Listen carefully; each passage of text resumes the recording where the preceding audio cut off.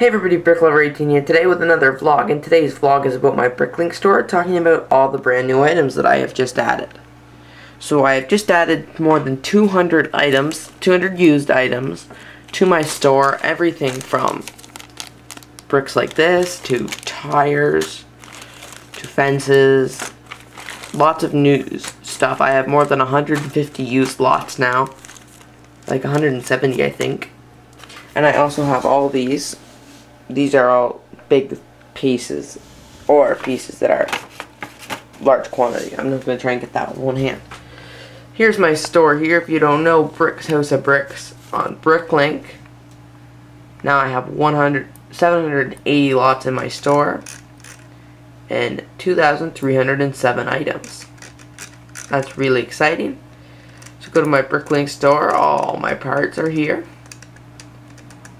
And yeah. Thank you for watching this vlog. I just thought I'd tell you about all these new items that just got added to my store. Thank you for watching. The link to my store will be in the description below. Thanks for watching. Have a great day.